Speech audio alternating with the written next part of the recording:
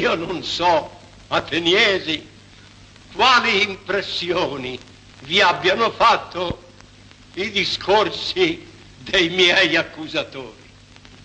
Furono così persuasivi che io non riconoscevo più me stesso. Eppure non hanno detta una sola verità. Di tutte le bugie che vi hanno regalato, io ne ho ammirata una sola. Quando vi hanno esortati a non lasciarvi ingannare da me, che sono un abile parlatore. Siccome sapevano che subito rispondendo li avrei sbugiardati, non essendo affatto un buon parlatore, così questa loro menzogna mi è apparsa la più grossa e spudorata.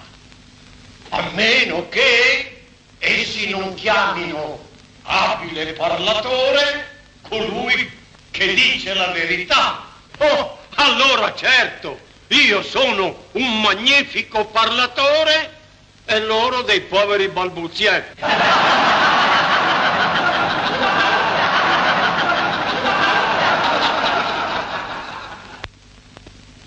A 70 anni è la prima volta che vengo in tribunale. Sono quindi straniero al modo di parlare che si usa qui. Non badate quindi alla forma del mio dire, ma solo se dico la verità. Il primo dovere di un cittadino che parla ai magistrati è di dire la verità, come il primo dovere dei magistrati è di intenderla. Prima ateniesi che costoro mi accusassero a voi, altri mi accusavano e per lunghi anni. E ora è giusto che io mi difenda anzitutto da quei primi accusatori e poi da questi. Ma devo difendermi perché così vuole la legge. Devo cercare di svellere dalle vostre anime la calunnia che vi si è radicata perché ripetuta per anni e anni, mentre a me ora per la difesa non si concedono che pochi istanti. Ma vada come al Dio piacerà. Qual era l'accusa di quei primi? Ecco, Socrate è colpevole di indagare le cose celestiali e le sotterranee e di saper rendere più forti le ragioni più deboli. Tale l'accusa. E voi certo l'avrete udita ripetere e l'avrete anche veduta illustrata sul teatro nella commedia d'Aristofane, il quale presenta un povero Socrate che va ruzzolando fra le nuvole e che parla spropositando di cose che io non capisco neppure e delle quali io non ho mai parlato e ne cito a testimoni voi, voi stessi, che mi avete sentito tante volte parlare nelle piazze, nelle strade. E, e voglio che vi diciate gli uni con gli altri quando mai io ho ragionato di tali argomenti. Qualcuno dirà, ma allora Socrate, da che deriva la calunnia? Dici tu la verità affinché non giudichiamo alla cieca. Lo farò. State attenti. Tutti voi conoscete Cherofonte. Fummo amici da ragazzi. Un giorno Cherofonte, andato ad Elfi, volle interrogare l'oracolo intorno a me Chiese dunque al nome se in a te vi fosse qualcuno più sapiente di me. Ebbene, la Pitia rispose che più sapiente di Socrate non c'era nessuno. Oh, badate, vi dico questo per spiegarvi com'è nata la calunnia. Io, udita la risposta, cominciai a pensare che cosa avesse voluto dire il nome a che cosa alludesse, perché certo io non ho coscienza di essere sapiente né molto né poco. Che cosa dunque ha voluto dire il nome? Cominciai ad investigare. Me ne andai da uno che aveva fama di sapiente, no, è inutile dire il nome, era uno dei sapienti politici. Ragionando dunque con costui e esaminandolo, mi parve che egli sembrasse sì sapiente a molti e soprattutto a se stesso, ma che non lo fosse. E allora io cercai di dimostrargli come poveretto vivesse in una illusione, credendosi sapiente mentre non lo era affatto. Per questa mia dimostrazione venni in odio a lui e in uggia a tutti i suoi parenti, amici, e ne aveva tanti anche lì presenti. Andandomene, io pensavo, quest'uomo crede di sapere e non sa, mentre io, che non so, non credo neppure di sapere. Quindi almeno in questo io sono più sapiente di lui. E me ne andai da un altro che dicevano anche più sapiente di quello. E la mia conclusione fu la medesima. Io continuai a investigare perché credevo mio dovere spiegarmi e rendermi conto del senso delle parole del. E continuai a cercare, interrogare quelli che si dicevano più sapienti. E corpo d'un cane ateniesi quelli che avevano maggior fama di sapienza erano quelli che sapevano meno, mentre altri, tenuti in nessun conto, li trovai maggiori in saggezza. E passai dagli uomini politici ai poeti, tragici, ai ditirambici, e compulsai i loro versi. Ma quando chiesi loro ciò che avessero voluto significare, mi avvidi, mi vergogno a dirvi questa verità, mi avvidi che di tutto ciò che avevano scritto gli altri ne ragionavano con più cognizione di loro. Costoro poetavano per ricchezza di fantasia, perché così voleva la loro natura e per questa loro facilità di verseggiare credevano di essere sapientissimi in tutto. Finì per recarmi dagli artefici. Ah, questi sì, sapevano quello che io non sapevo e perciò almeno che riguarda l'arte loro erano più sapienti di me. Ma mi avvidi che anche gli artefici avevano lo stesso peccato dei poeti, perché sapevano lavorar bene nell'arte loro, erano convinti di essere sapientissimi in tutte le cose, anche le più gravi. Per questa mia ricerca ed esamina, ateniesi, mi caddero addosso tante inimicizie e così aspre e crudeli da generare poi la calunnia sulle mie spalle, aggravandola col nome di sapiente. Da tutta la mia ricerca è risultato questo, che il vero sapiente è il Dio e che nella sua risposta abbia voluto significare, servendosi del mio nome come per un esempio, che in Atene il più sapiente di tutti è colui che come Socrate sa che in fatto di sapienza non vale proprio nulla.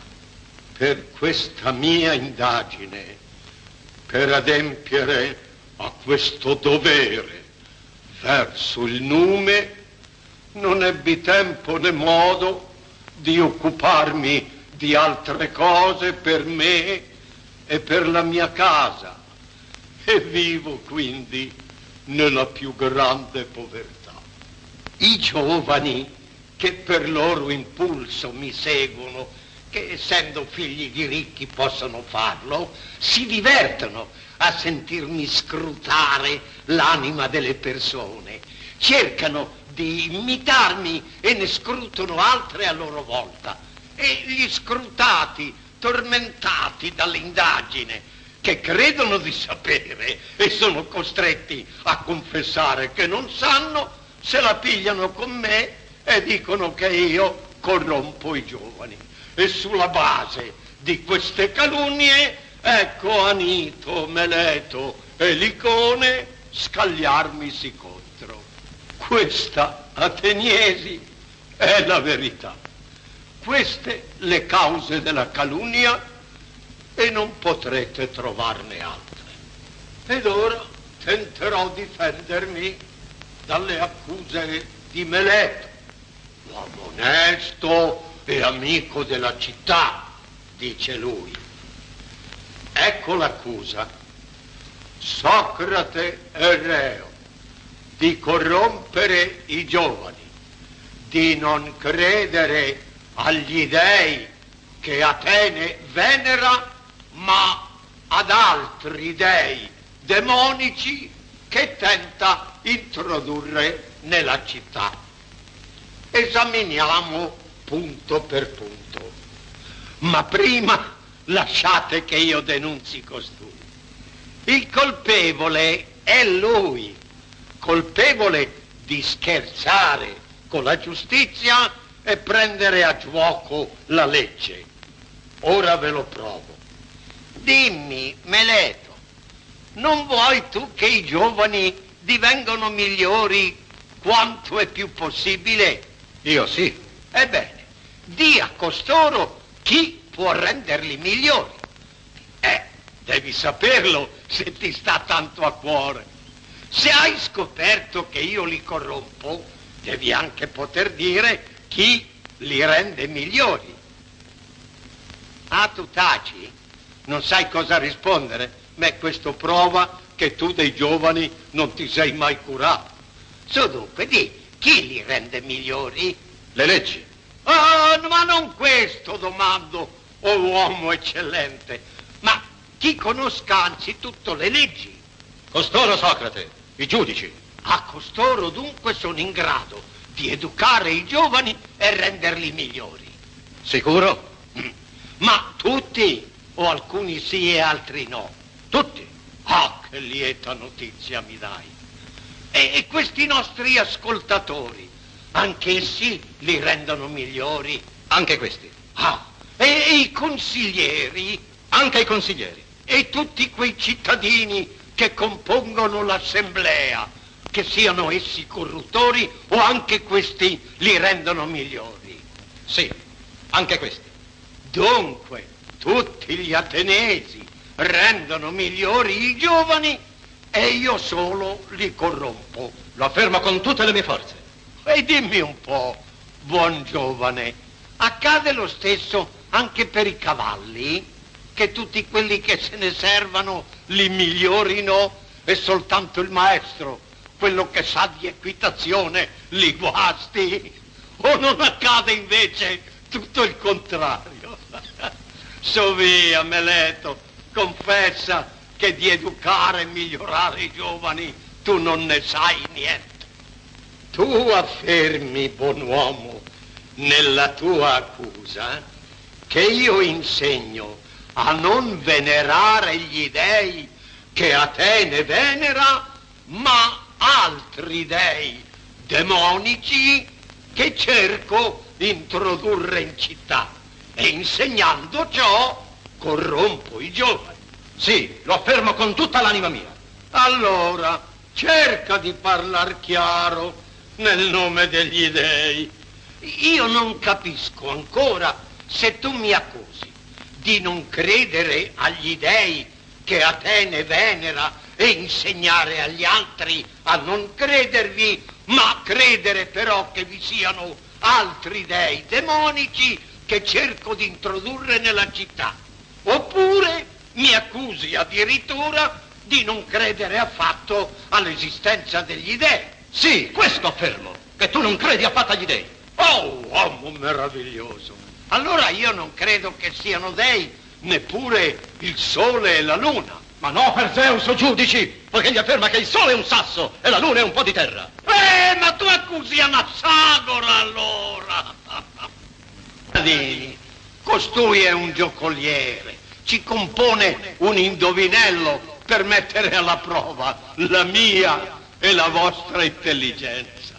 La sua accusa è, è un'allegra contraddizione, come se dicesse Socrate è reo di non credere all'esistenza degli dei perché crede all'esistenza degli dei. Costui ci deride allegramente. Rispondi, Meleto. Non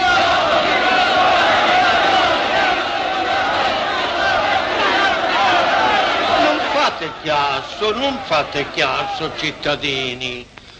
Può mai essere esistano fatti umani, ma non esistano uomini?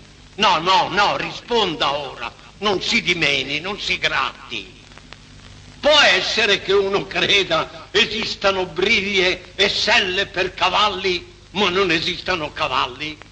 O, o esistono flautisti, ma non esistono flauti? Ma perché non vuol rispondere? Rispondi, o pezzo di galantuomo. Può essere che uno creda esistano fatti demonici, ma non esistano demoni? Non è possibile. Tu affermi che io voglio introdurre in Atene nuovi enti demoniaci, dunque io devo ammettere che esistono demoni. Eh, e i demoni non sono forse figli degli dei o dei essi stessi? Rispondi sì o no? Sì, certo. Ecco dunque qual è il tuo allegro indovinello. Tu affermi che mentre io penso che gli dei non esistono affatto, penso anche che esistono i demoni che sono figli degli dei. Sarebbe come dire che non esistono né asini né cavalli, ma esistono però i muli che sono figli dei cavalli e degli asini. E su questa accusa, Ateniesi, credo di non dover aggiungere altro. So via, se io abbia corrotto qualche giovane, ora che è fatto adulto, si faccia innanzi, mi accusi e si vendichi. E ve ne sono molti qui che mi ascoltarono e mi seguirono. Eh, questo, per esempio, Critone, mio coetaneo, e Elisania, padre di questo Eschine, e, e Demodoco, di cui era fratello Teagete, e, e questo Adimante di Aristone, di cui è fratello questo qua, Platone, e molti, molti altri che potranno venire qui a dire che Meleto mentisce e io dico la verità. Concludiamo.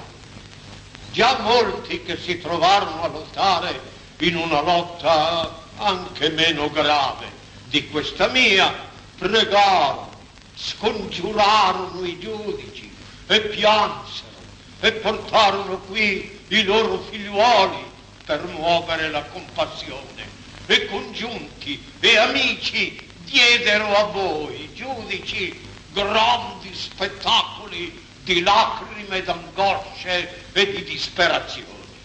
Io non farò nulla di tutto ciò, quantunque corra pericolo di morte e sebbene anch'io abbia congiunti che, come dice Omero, non nacqui da una quercia o da una pietra, ma quassù non farò venire nessuno. E non lo farò Ateniesi, non già per dispregio di voi né per orgoglio mio, ma perché mi sembra contrario alla umana dignità e, e anche per la mia reputazione, vera o falsa che sia. Si afferma che Socrate non è come tutti gli altri e questo impone a me di dare giusti esempi. Che io tema o non tema la morte non è cosa che preme. Ho veduto più volte smarrire il senno per questa paura, come se non condannati da voi certi uomini fossero sicuri di vivere eternamente e fanno cose strabilianti e ridicole per salvarsi. E ciò è vergognoso, perché dà diritto ai forestieri di pensare che quelli che gli ateniesi scelgono alle magistrature valgono meno di femmine. Coteste miserevoli farse per intenerire i giudici non è bene che le facciamo noi uomini di reputazione né che le permettiate voi magistrati. Voi dovete anzi mostrarvi più severi con quelli che vi recitano i drammi pietosi, gettando il ridicolo sulla giustizia prima e sulla patria poi. Se tentassi di commuovere, di corrompere con la pietà voi, giudici, legati da giuramento, vi insegnerei a non credere agli dei e mostrerei apertamente di non credervi io stesso, mentre invece la verità, ateniesi, è questa, che io credo come nessuno dei miei accusatori e lascio a voi e al Dio di giudicare come meglio sarà per me e per voi per maggioranza di 30 voti, Socrate di Sofronisco è condannato.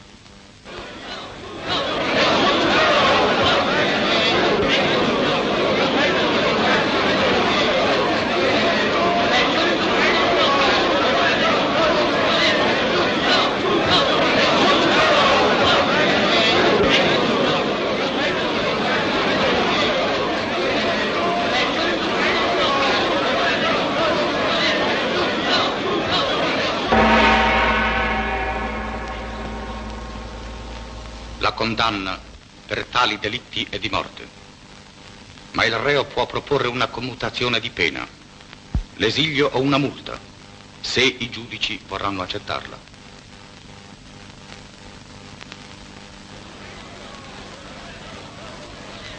Se io non mi adiro che mi abbiate dichiarato colpevole, è per molte ragioni prima fra le quali che il caso non era inaspettato e non credevo neppure che la differenza dei voti fosse così lieve. Se 30 voti si fossero spostati, io sarei stato assolto. Costui dunque mi aggiudica la morte. Ma io che cosa mi aggiudicherò? Che cosa merito io per aver voluto giovare alle anime dei miei concittadini non curando ciò che preme a tutti gli altri, e cioè il guadagno, gli interessi domestici, comandi militari, magistrature, che cosa merito io? Che cosa si può offrire a un uomo povero e benemerito? Il vitto quotidiano nel printaneo a spese dello Stato. E mi pare che sarebbe più meritato che se ciò si aggiudicasse a uno di voi che ha vinto nei giochi olimpici una corsa di cavalli, di bighe e di quadrighe. Ecco dunque quello che mi aggiudico. Il vitto nel printaneo. Ciò forse vi sembra ironia, ma non è. Io sono certo e quindi anche persuaso di non aver mai mancato in nulla e contro nessuno. Ma non è facile persuaderne voi. Non avendo mai fatto torto ad alcuno, non intendo di farne ora a me stesso aggiudicandomi una punizione come se fossi davvero colpevole. Per salvarmi poi da che cosa? Dalla morte. La morte che io affermo ancora di non sapere se sia un bene o un male. E dovrei in cambio aggiudicarmi una di quelle punizioni che so essere un male. E, e quale? Il carcere. E, e restare come schiavo sotto il comando degli undici per sempre? No. Una multa. E restare in carcere finché l'avessi pagata. Non ho mezzi per pagare. Tutto al più potrei multarmi di una mina d'argento.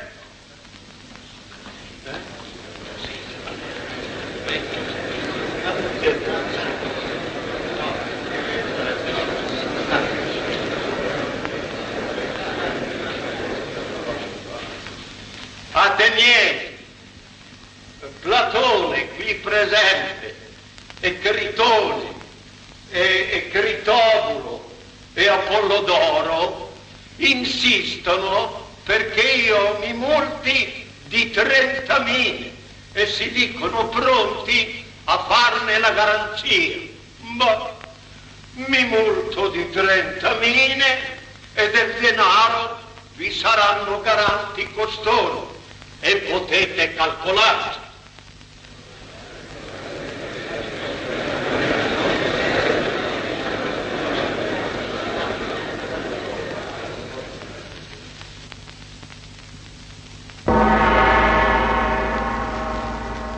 maggioranza di 80 voti la commutazione proposta è respinta e Socrate di Sofronisco è condannato a morte con bevanda di cicuta.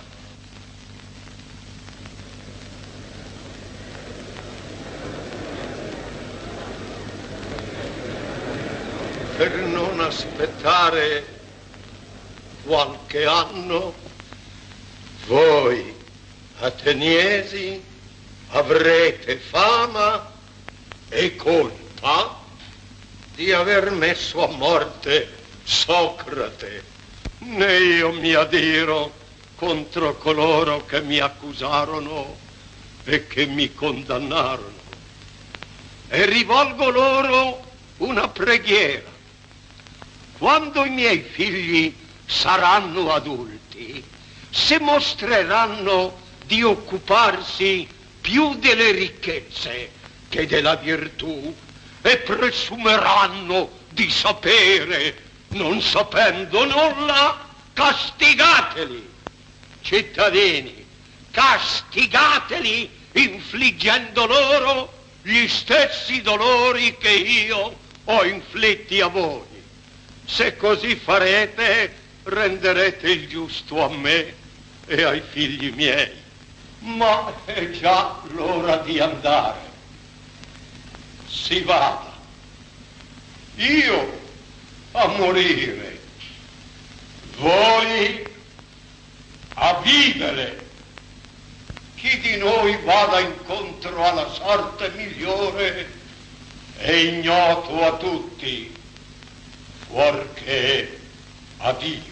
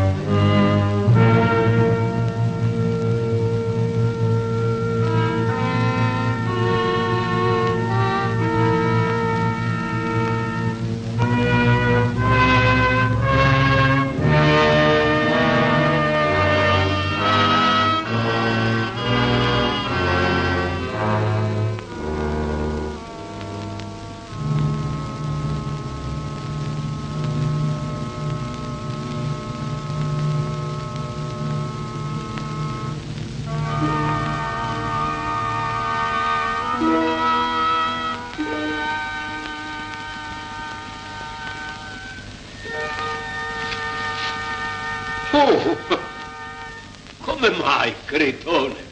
Già qui a quest'ora? O non è ancora troppo presto? Che ora è precisamente? È l'alba appena. Mi sorprende che il custode ti abbia aperto.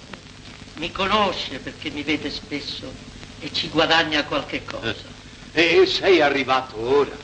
È un pezzo che sono qua. Ah. E perché non mi hai risvegliato prima? Perché per Zeus a me pure sarebbe amaro essere svegliato da un buon sonno in tale sciagura.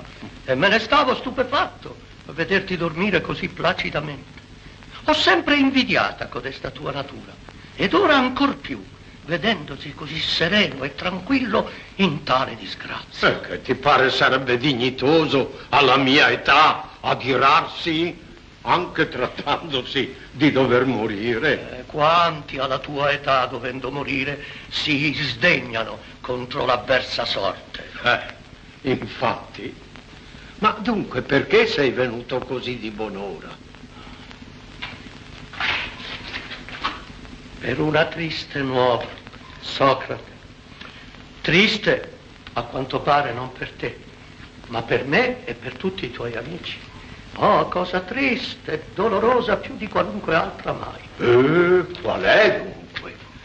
È forse giunta da Delo la nave al ritorno della quale fu stabilito che io debba morire? No, non è giunta ancora, ma alcuni giunti da Sunio dicono che l'hanno veduta colà e che oggi sarà qui. E se arriverà oggi, Socrate, domani dovrà finire la tua vita. Tutto per il meglio, amico. Se così piace agli dei, sia pure così.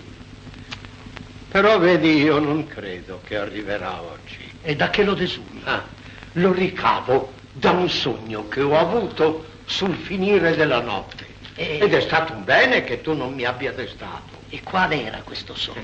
Sognai si avvicinasse a me una donna giovane, bella e graziosa, in veste bianca, e mi dicesse, Socrate, fra tre dì vedrai la pinguettia. Oh, che strano sogno. Ma chiaro mi sembra. Eh, anche troppo.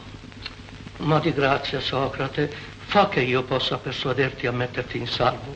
La morte tua non sarà per me un grande dolore soltanto perché certamente mai più mi sarà dato trovare un amico quale tu sei, ma mi sarà anche vergogna, perché quelli che non ci conoscono diranno che io, pur potendo salvarti col mio denaro, non l'ho fatto.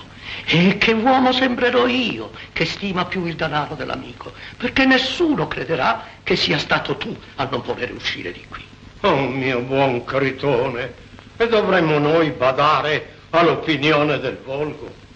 Ma tu vedi da questo tuo caso che è pur forza preoccuparsi anche dell'opinione del volgo, la quale può produrre dei mali tremendi per colui che le sia messo in discredito. O magari pure potesse l'opinione del volgo fare il gran male, che allora potrebbe fare anche il gran bene. Ma in verità essa non può fare né una cosa né l'altra, perché non può fare che l'anima dell'uomo sia o non sia onesta. Sarà vero. Ah, ma tu forse hai paura che fuggendo i sicofanti poi abbiano a molestare me e, e tutti gli amici tuoi e che noi dovessimo rimetterci tutto il nostro denaro e soffrire anche cose più gravi? Oh, se è questo, non curartene, amico. È giusto che a questo ed a cose gravi noi ci esponiamo. Dammi dunque ascolto e fa quello che ti consiglio, se è solo il pensiero del nostro danno di poi che ti trattiene. Sì, a questo penso e a molte altre cose. Non temere, non ci vorrà troppo denaro. I sicofanti sono gente a buon mercato e i miei denari basteranno. E se ti dai pena di me, ebbene, ci sono molti forastieri disposti a spendere per questo. Quel tebano, Simmia, ha portato per questo molto denaro. E poi, beh, Cebete e molti altri. Non preoccuparti dunque di questo. Ne penserai sul serio ciò che hai detto in tribunale, che uscendo da Atene non sapresti che fare né dove andare. Oh, Socrate, ovunque sarai accolto con lietezza e se ti vorrai stabilire in Tessaglia, dove io ho molti cari amici, vi potrai stare lieto e sicuro. È ingiusto, credilo, è ingiusto questo abbandonarsi ed ostinarti al tuo proprio danno, più che non si siano ostinati i tuoi nemici a fare la tua perdita. E ti dirò pure che ho la sensazione che tu tradisca i tuoi figliuoli, lasciandoli nell'abbandono, invece di educarli e difenderli da tutti quei casi ai quali sono sempre esposti gli orfanelli. I figlioli, Socrate, o non bisogna averne o bisogna educarli e sorreggerli. Dovresti intenderli tu, questi doveri, tu che hai praticato la virtù durante tutta la tua vita. Ma per verità ho vergogna di te e, e di me. Di te, prima, per quella tua entrata in tribunale mentre potevi non venirci. Poi, per quella noncuranza di come si svolgesse il giudizio. E adesso, per questo tuo rifiuto ostinato, che si potrebbe dire la catastrofe ridicola della tua tragedia. Oh, ho vergogna per me e per gli altri amici tuoi, che saremo giudicati ignari ed egoisti perché potendoti salvare non lo abbiamo fatto. Pensaci, Socrate. Anzi no, non pensarci. Risolviti, che adesso ne abbiamo ancora tempo e nella non niente bisogna che tutto sia fatto. Mi ascolti? Socrate, mi ascolti? Sì, ti ascolto. Ti ascolto, amico, e stimo molto la tua premura. Però finché è in accordo con la rettitudine, ma quando non la è più, la tua premura mi diviene grave ed ostile. Studiamo, studiamo insieme se quanto proponi sia da farsi o no. Io, vedi, ho sempre obbedito soltanto alla ragione, la quale, dopo le opportune considerazioni, mi conduce sempre a scegliere la via migliore. E ora penso quegli argomenti che trovavo buoni prima, eh, non posso certo rifiutarli ora, soltanto perché è sopravvenuta a me disgrazia. Dunque studiamo, esaminiamo pacatamente la cosa, riprendendo il discorso di poc'anzi sulle opinioni degli uomini. Dicevo dunque che alcune sono da pregiarsi ed altre no. Ti sembra giusta massima, Cretone? È giustissimo. Pregiare dunque le opinioni buone, non le cattive. Eh, certo. E le opinioni buone non sono forse quelle dei saggi e non quelle degli stolti.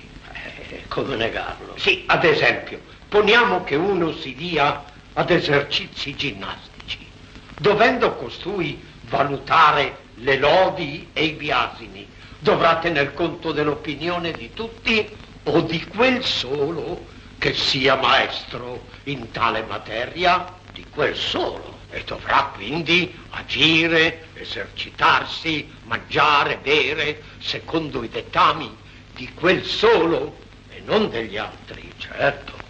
E disobbedendo a quel solo per seguire i consigli degli stolti e degli ignoranti, non gliene verrà male? E come no? E, e questo male dove lo colpirà prima di tutto? Nel corpo che comincerà a soffrire. Ben detto, Critone, ben detto.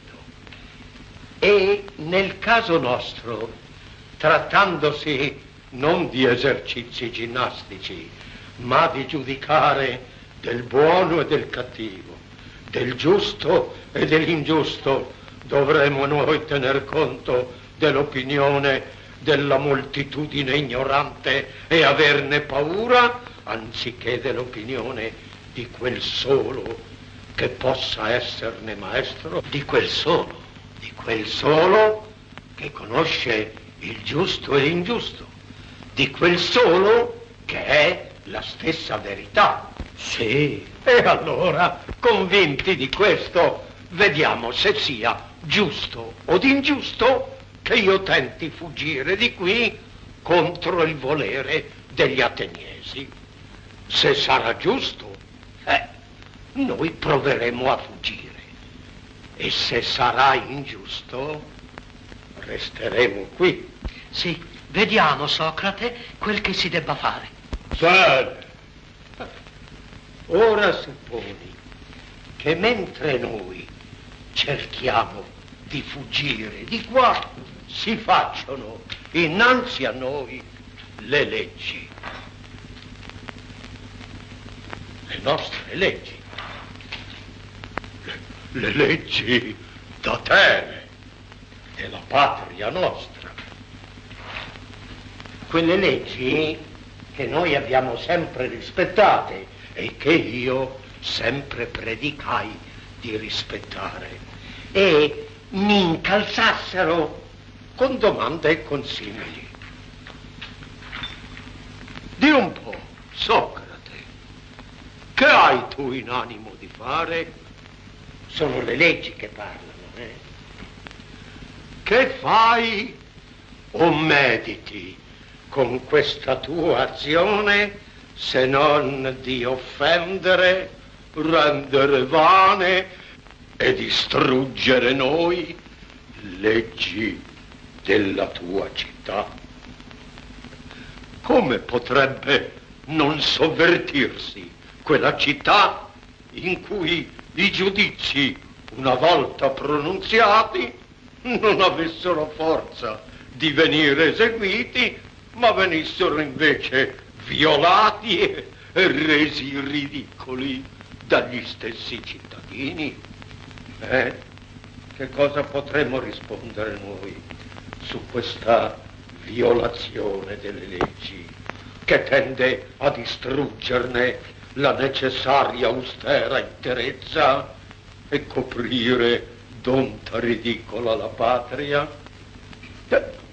Potremmo dire che la città ne ha fatto ingiuria perché in questa causa contro di me non ha rettamente giudicato. Ah, questo sì, Socrate, questo sì e le leggi risponderebbero e che non era fra noi convenuto che in qualunque caso tu dovessi startene al giudizio nostro? Poiché tu, Socrate, sai fare tanto uso di domande e risposte, rispondi. Di che accusi la città e noi, sue leggi? per tentare di disautorarci e di perderci. Non fu con noi e per noi che tuo padre prese tua madre e ti procreò. Hai tu ragione per biasimare quella fra noi leggi che presiede ai maritaggi? Eh, io dovrei dire di no, no, nessuna ragione e a quelle leggi che impongono di ben allevare i figli e mercé le quali tu stesso, Socrate, fosti allevato, nutrito, istruito nella musica, nella grammatica, che hai tu da rimproverare? Forse che ora non ti paiono più giuste? Eh, io dovrei dire di sì. Ebbene, poiché fosti per noi generato, allevato, istruito, tu non puoi negare di essere nostro soggetto e alunno e servo di noi leggi. E se così è, credi giusto considerarti nostro pari e voler fare a noi ciò che noi dovemmo fare a te? Se non è possibile eguaglianza di diritti neppure fra padre e figlio, come puoi credere possibile eguaglianza di diritti e di ritorsione fra te e le leggi della patria tua? E, e quando ne avrai calpestate e avvilite, potrai ancora credere di essere uomo giusto, tu, verace cultore di cittadine virtù, e ignori, tu sapiente, che primo d'ogni affetto è la patria, che si deve onorare perché più augusta, più veneranda e più santa non solo presso i piccoli uomini, ma ben anche presso gli dei. E lei si deve onorare e blandirla se è sdegnata e persuaderla se la si stimi caduta in errore. Fare quanto ordina con sommissione e pazienza, siano pure ceppi o battiture o partire per guerre dove rischio di morte. E non si deve tergiversare né abbandonare il posto assegnatoci così in guerra come nel foro e in casa, che sen pietà sarebbe usar violenza contro il padre o la madre, in pietà maggiore sarebbe usarla contro la patria e le leggi che la costituiscono. Obbedisci, Socrate, obbedisci alla maestà sacra della legge. E non anteporre vita, figliuoli, né altra cosa qualsiasi alla giustizia.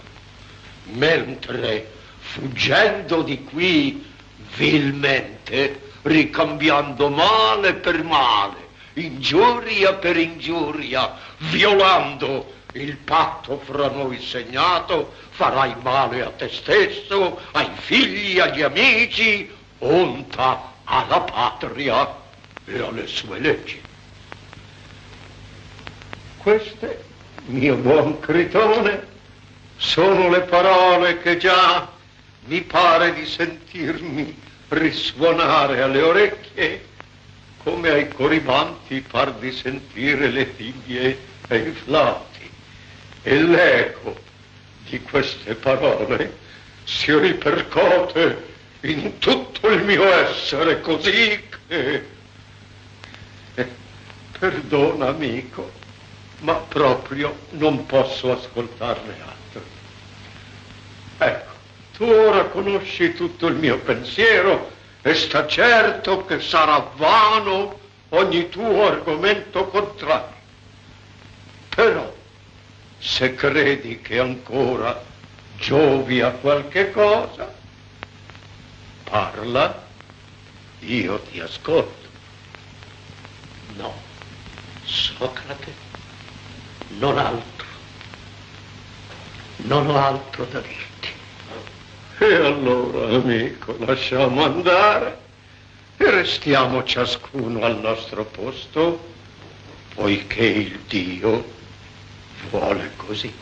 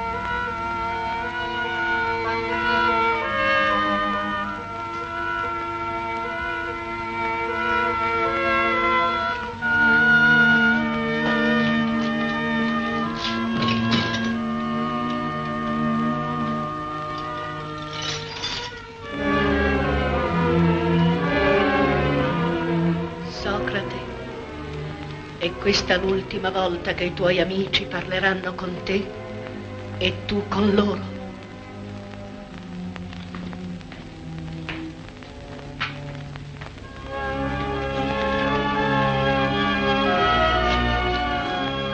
Ti prego, Cretone, fa che alcuno la riconduca a casa.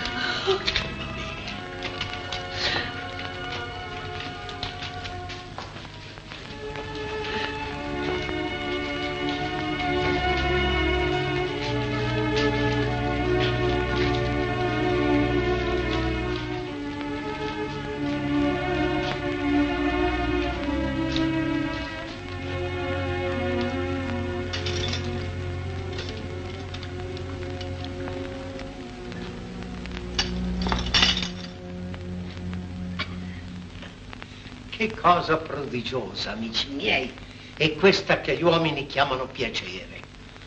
Prodigiosa rispetto all'altra, che è il suo contrario, il dolore. Due cose che non vogliono mai trovarsi insieme nella stessa persona. Ma se a qualcuno accada di essere colto da una di esse, ecco poco dopo sopraggiungere l'altra, come se le cose fossero unite insieme.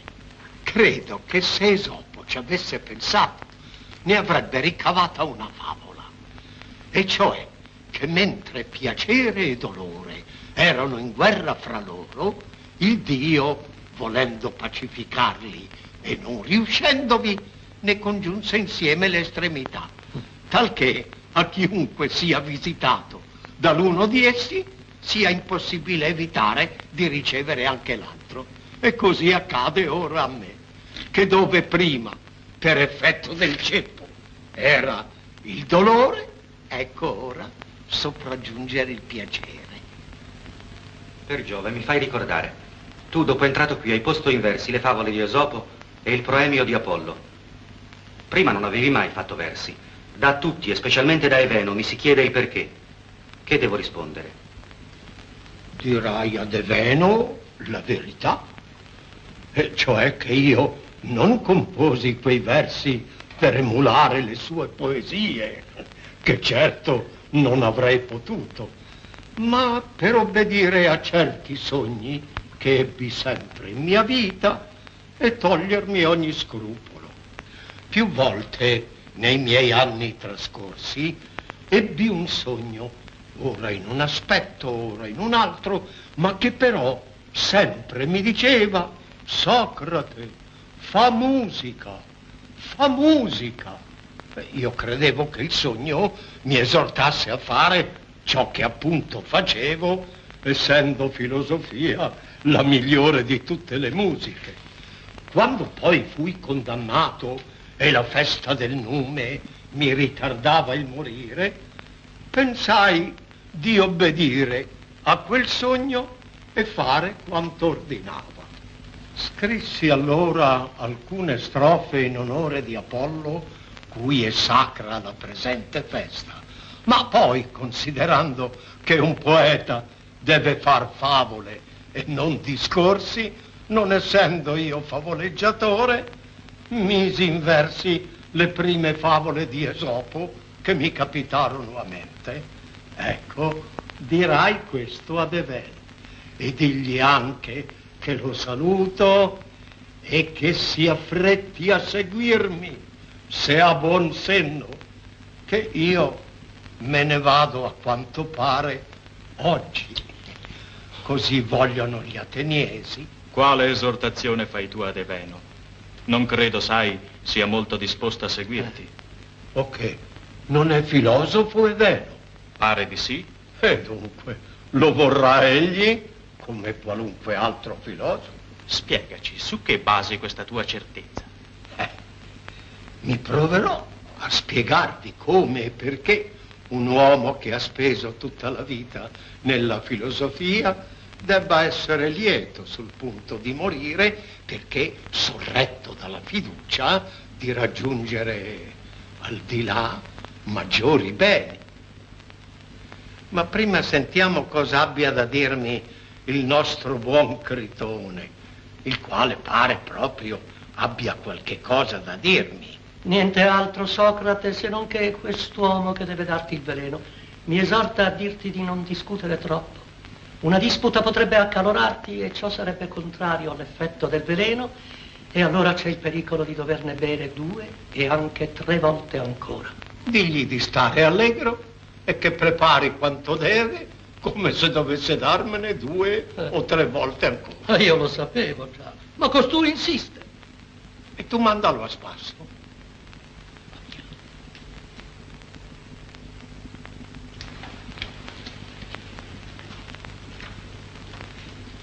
Eccomi a voi.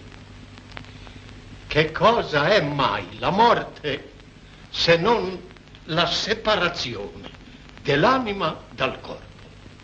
E restare da una parte il corpo da sé separato dall'anima e dall'altra l'anima da sé, liberata dal corpo. E questa la morte.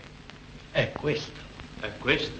E tu credi degna cosa per un filosofo correr dietro ai piaceri della mensa, mangiare, bere?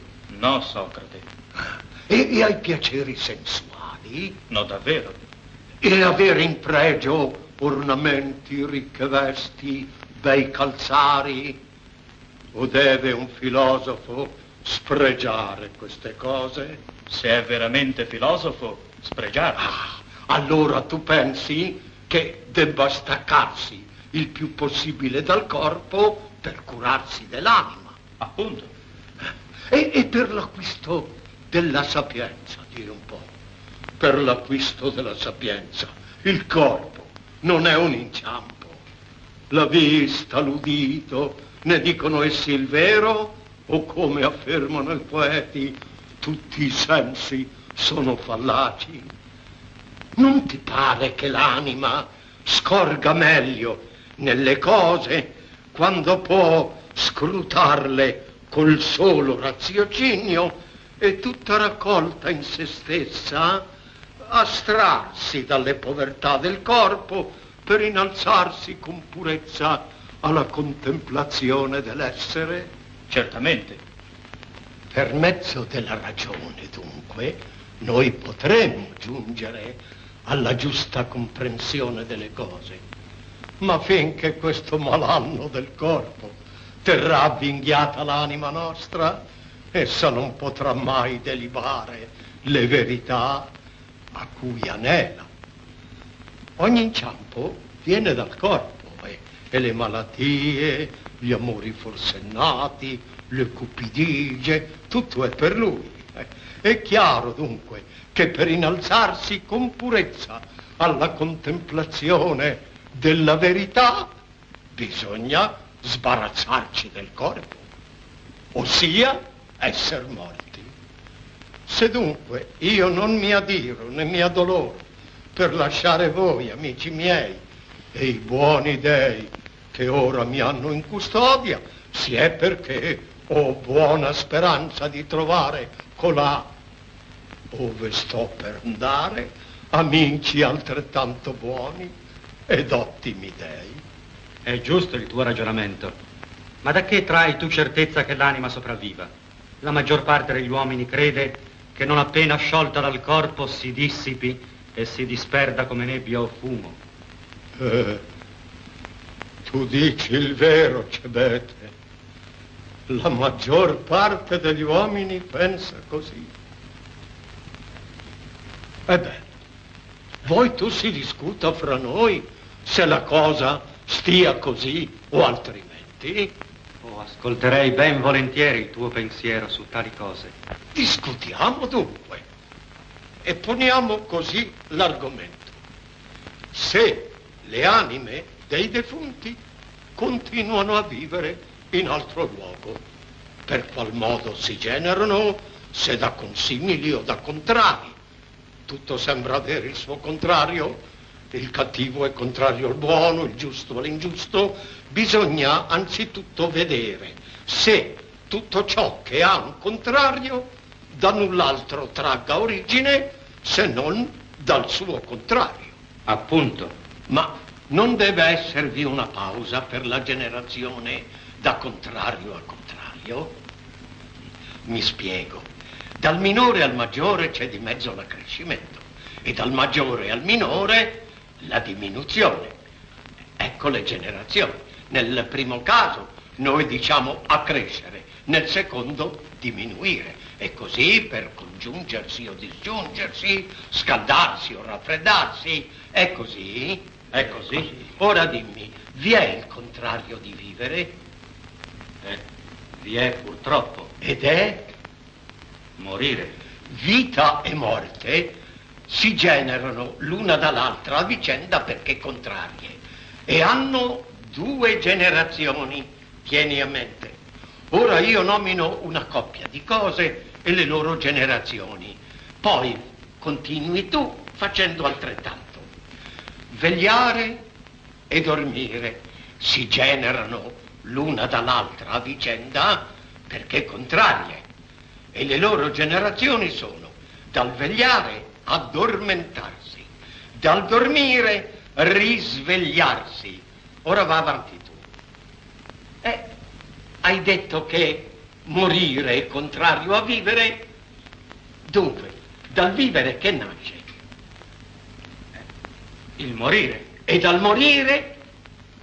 Eh, non daremo anche al morire la sua generazione, o, o che in questo solo natura si azzoppa. Io dico, dal vegliare addormentarsi, dal dormire risvegliarsi, e tu dici dal vivere morire, e dal morire rivivere. Oh, è forza dirlo. E abbiamo così buon argomento per credere che le anime nostre continuino a vivere in altro luogo, donde poi tornano a noi.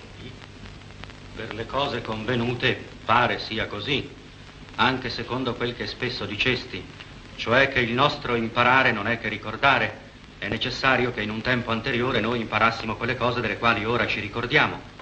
Anche per questo l'anima dimostrerebbe qualità immortali. Cebete, dammi di ciò una dimostrazione che questo io non lo so. Come? Tu non pensi che quel che crediamo imparare sia invece ricordare? Ascolterei volentieri come tu possa provarlo. Per ricordarsi di una cosa bisogna averla già conosciuta prima, ne convieni? Ne convengo. Se qualcuno imparando una cosa non solo si ricorda di questa, ma ne pensa subito un'altra, anche non uguale, anche di simile, non diciamo noi che questa gli ha fatto ricordare di quella? Come a dire? Mi spiego. La cognizione della donna è una cosa e la cognizione della cetra è un'altra. Eh, lo credo. Ora accade a un giovane che la vista della cetra o della veste o dei sandali di una fanciulla richiami tosto al suo pensiero le vaghe forme della sua amata. E questa è reminiscenza. Certamente. E, e non accade che vedendo un cavallo ci ricordiamo del suo padrone? O, o vedendo uh, Simmia dipinto ci ricordiamo di Simmia vivo? O, o incontrando Simmia ci ricordiamo di Cebete? La reminiscenza può nascere dunque tanto da dissimili che da consigli. Senza dubbio. Ma la cognizione delle cose materiali noi la prendiamo con gli occhi, col tatto, col sensi, dopo essere nati. Non è così? Eh, bisognava dunque averne conoscenza prima. E se un fanciullo che sta apprendendo cosa materiale è assalito dal pensiero di cosa immateriale vuol dire che egli conosceva entrambe le cose prima per riconquistarle poi. E forza che noi avessimo cognizione di tutte le cose materiali e immateriali prima per ricordarle poi. Ora dimmi, quando le anime nostre poterono apprendere tutte queste cose? nell'istante stesso del nostro nascere. No, certo. No, certo. Dunque prima, sì. Esistevano dunque le anime nostre prima di prendere queste forme umane e avevano intendimento. Poiché non si può apprendere nel nascere, non v'è altro tempo. Socrate, il tuo ragionamento conclude trionfante e per me la tua dimostrazione è completa. E Cebete, che ne dice? Lo credo al pari di me convinto che le nostre anime esistevano prima del nostro nascere, ma che morti noi esse continueranno a vivere, questo Socrate non è dimostrato. E vi è sempre la paura del volgo che morendo il corpo, l'anima anch'essa si disperda e si dissipi. Appunto, Simmia, che le nostre anime vivranno dopo di noi non è dimostrato. Pare che vogliate andare in fondo alla cosa e che temiate la dispersione delle vostre povere anime. Ebbene, Socrate, liberaci tu da questo timore che è angoscia di tutti.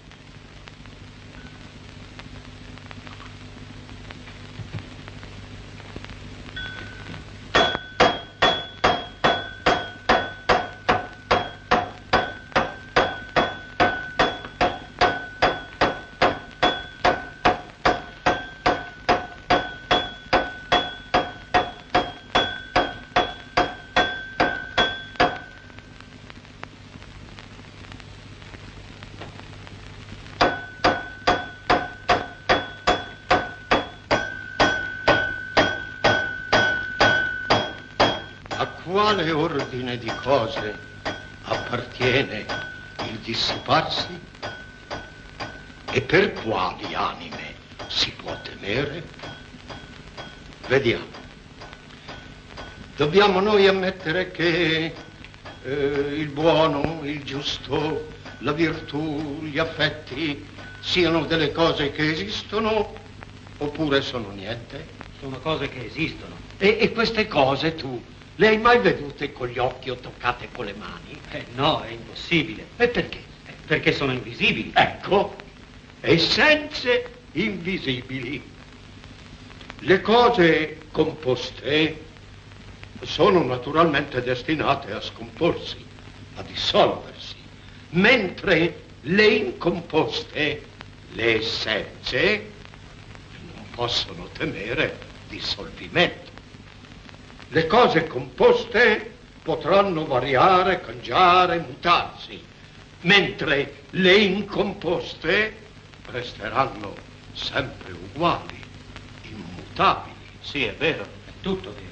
Le cose composte noi possiamo vederle con gli occhi, toccarle con le mani, mentre le incomposte, le pure essenze, non possiamo afferrarle che con la mente e considerarle col raziocinio perché sono invisibili. È giusto.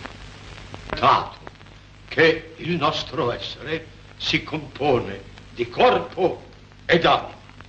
Ora, a quale specie di cose appartiene il corpo? Alla composta visibile. E l'anima? All'invisibile. Nel nostro essere è il corpo o l'anima che può comandare e dirigere? L'anima, perché essa sola ha la volontà. Ma comandare e dominare con la sola volontà è qualità divina? Sì. Dunque al divino, immutabile, incorruttibile, invisibile, appartiene l'anima e all'umano visibile, corruttibile, appartiene il corpo venuto l'uomo a morte, la parte di lui visibile, corruttibile, il corpo, insomma, e forza si corrompa, si disperda, mentre l'anima, essenza invisibile, migrando verso tutto ciò che è più conforme alla natura sua, verso il puro, immutabile, incorruttibile, immortale, che è poi il Dio buono e sapiente, si sentirà libera e sicura, scevra da menzogne e da illusioni. Ma se dal corpo uscirà contaminata per essergli stata troppo ligia nelle sfrenate cupidigie, se avrà subito il contagio del corpo, ne uscirà con un fardello così pesante di cose immonde da restarne gravata e andrà errando per luoghi tenebrosi con altri simulacri di anime impure. Vi pare che manchi qualche cosa al mio ragionamento? Ti dirò il vero, Socrate. Da un pezzo ognuno di noi spinge l'altro per incoraggiarlo a farti ancora parlare, per il grande desiderio di udirti. Ma temiamo di esserti molesti nella tua presente disgrazia. Ai, ai, e come farò a persuadere gli altri che non stimo sventura per me questo avvenimento se non riesco a persuaderne voi? Ma potete chiedere quel che volete finché gli undici d'Atene lo consentono. Credo, d'altronde, che non sottoporre ad ogni prova tali argomenti e cessare le indagini prima di averci spese tutte le forze della mente sia grave colpa. Ecco dunque ciò che tiene incerti me e Cevete. Pare a noi, Socrate, che non si sia detto abbastanza. E forse, amico, quel che ti pare è la verità.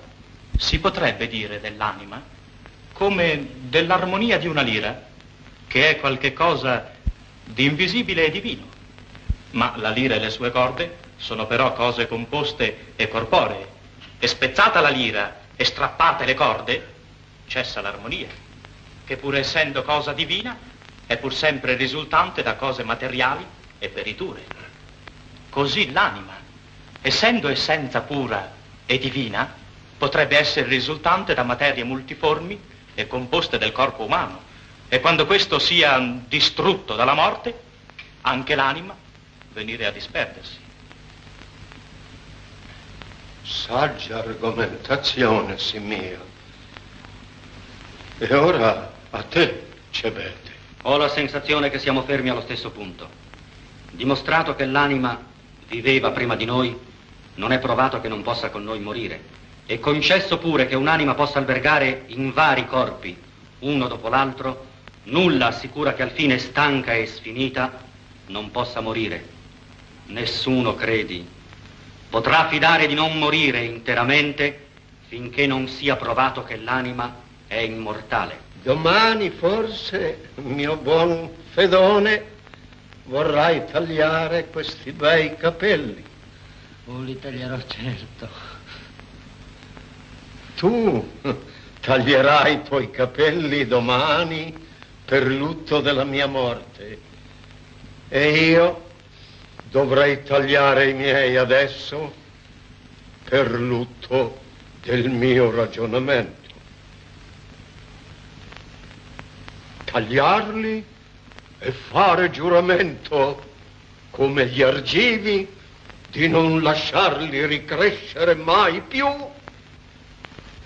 finché battagliando non abbia vinti gli argomenti di costoro.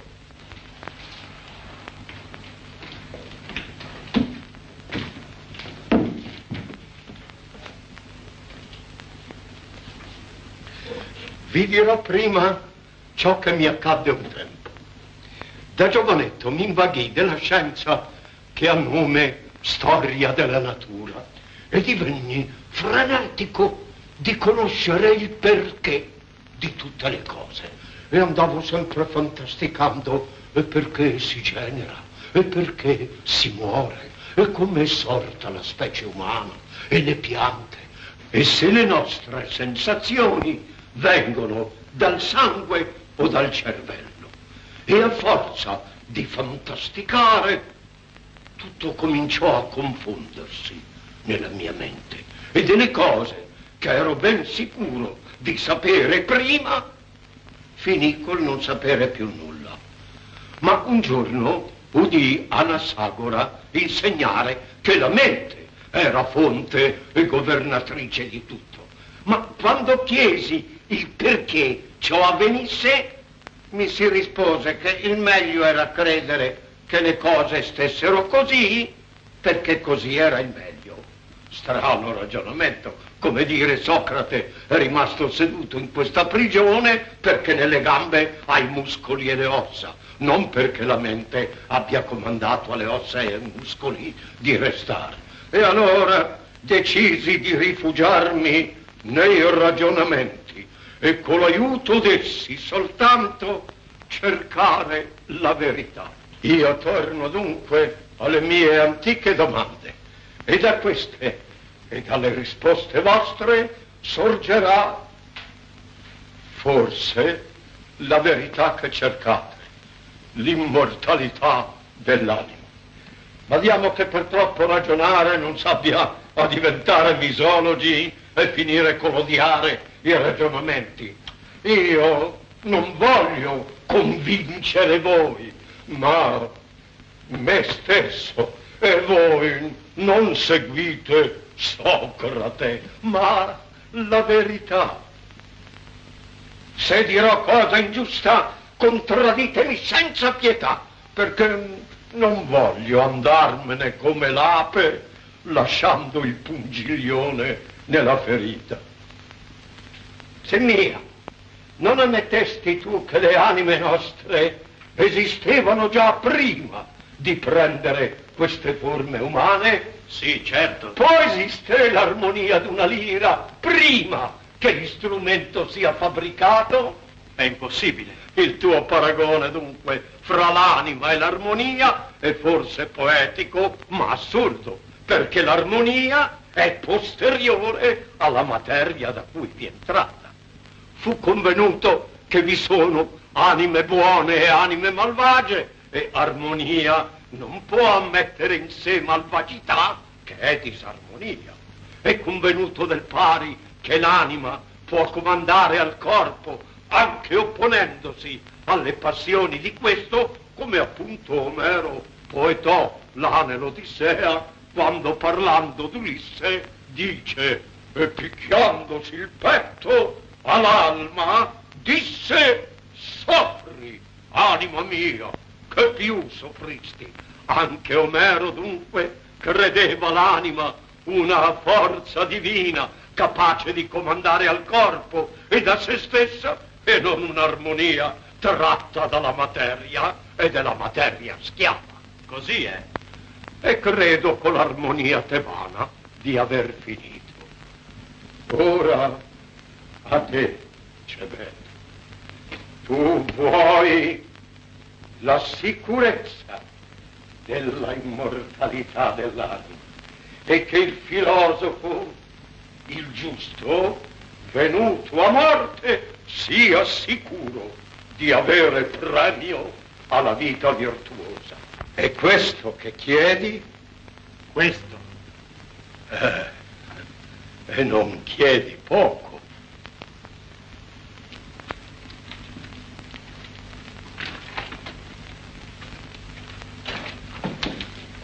Per quella legge dei contrari di cui parlammo è convenuto che nessuna cosa potrà mai accogliere in se stessa il suo contrario. È convenuto. Ed è pure convenuto che nessun contrario sarà mai contrario a se stesso. Fuor di dubbio. Rispondi ora. Che cos'è che apporta vita al corpo umano? L'anima. Sempre? Sempre. L'anima dunque apporta vita a qualunque corpo essa occupi. Ma vi è il contrario di vita? Morte. L'anima che è vita e apporta la vita non accoglierà mai in se stessa il suo contrario. Non l'accoglierà. Come chiami ciò che non può accogliere il giusto? Ingiusto. E ciò che non può accogliere morte? Immortale. L'anima che non può accogliere morte è Immortale. Lo hai detto tu. E poiché l'immortale è per sua natura incorruttibile, l'anima non può perire quando al corpo si accosti la morte. Se il freddo fosse incorruttibile, la neve all'appressarsi del fuoco fuggirebbe illesa e non perirebbe liquefatta. Vogliamo dire che sia provato? Provato. Provato. Immortale e incorruttibile l'anima, dunque bisogna perciò averne cura, non solo per questo tempo che chiamiamo vita, ma anche per poi. Che se l'anima potesse perire col corpo, sarebbe un gran bene per i malvagi saldare in una sola volta le proprie partite, ma poiché essa è immortale, null'altro rifugio o scampo è per lei se non nella bontà, nella saggezza, nella purità, che null'altro l'anima reca al di là se non la disciplina degli affetti che qui la nutrirono. E monda d'ogni scoria terrena, lieve, sicura, si innalzerà verso regioni terse e purissime dove gli ottimi e benevoli dei la accoglieranno. Ma il sole è già al tramonto. Un trageda qui direbbe me frattanto chiama la parca e mi pare giunta l'ora d'andare a lavare il mio corpo prima di bere il veleno il farmaco per evitare alle donne di dover lavare il mio cadavere.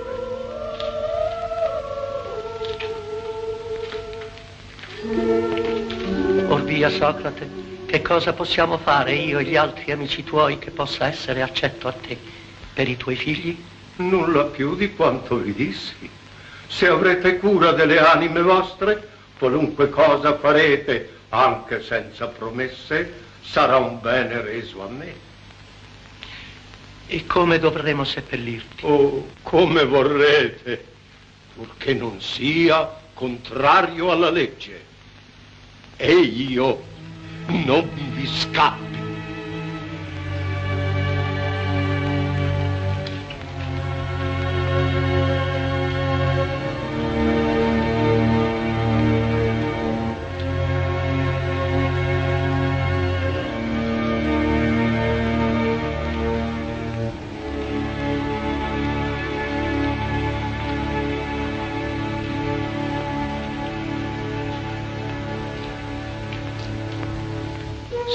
Danze ed inni per la festa del Dio.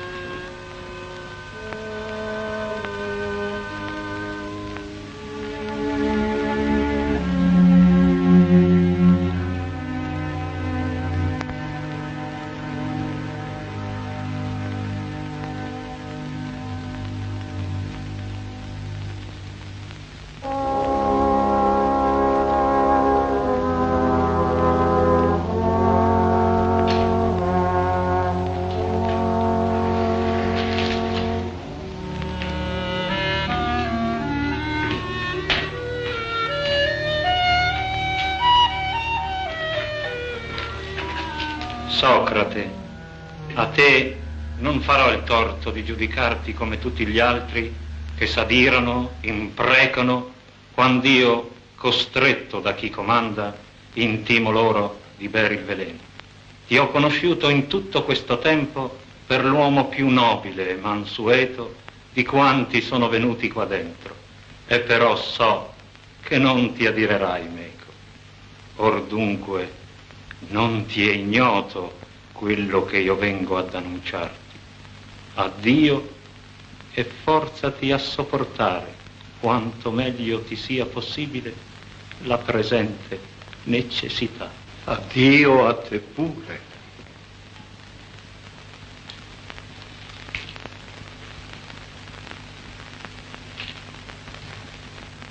Che uomo garbato. E veniva spesso a trovarmi, si intratteneva a lungo con me, proprio un buon uomo. Su via Critone, diamogli retta e alcuno mi porti il veleno, il farmaco, se è pestato, se no lo pestino.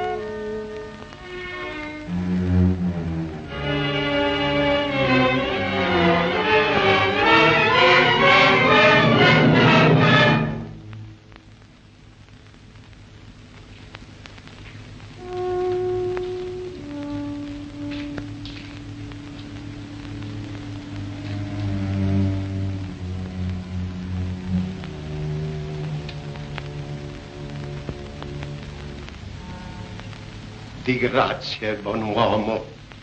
Tu che ti intendi di queste cose, che cosa devo fare? Nient'altro che presa la bevanda, passeggiare un poco, finché ti sentirai un peso alle gambe e allora ti stenderai là. E che dici? Chi volesse libare con questa bevanda è lecito? No, noi pestiamo Socrate quanta crediamo che basti a bersi e non più. Capisco. Ma far voti agli dei si può e si deve, perché il nostro passaggio all'altra vita sia felice. Così prego e così sia.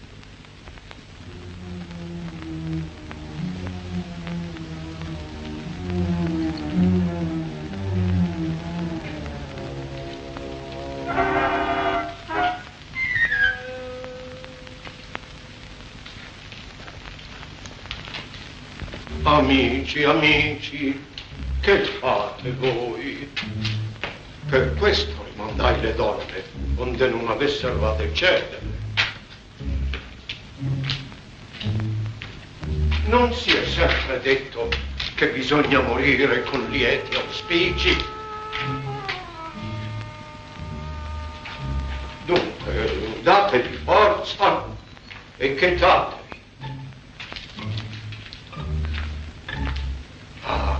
È vano dunque quello che dissi per vostra consolazione.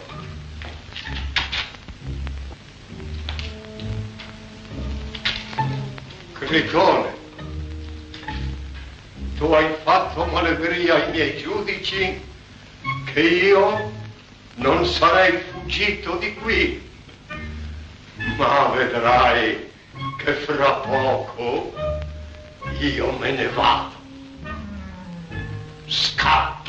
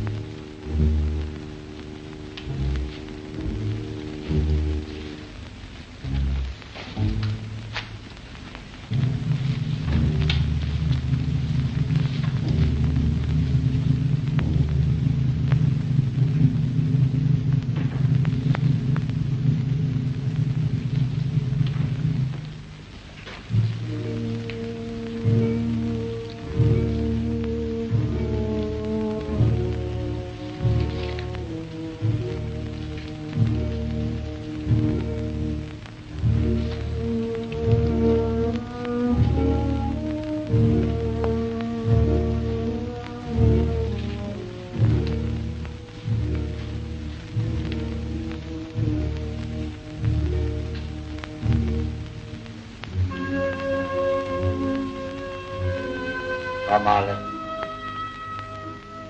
No.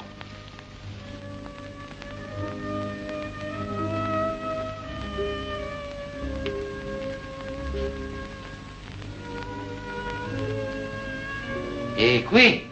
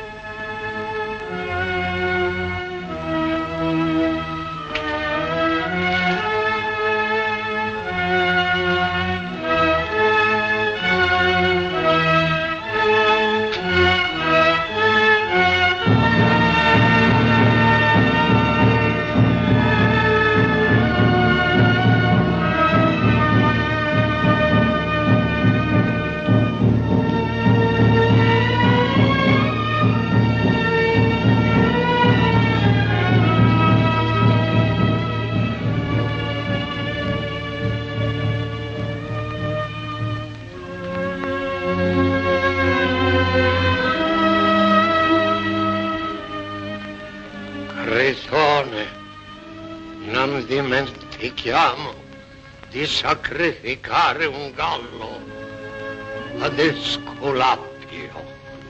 Sarà fatto, amico. Hai altra cosa da chiedere?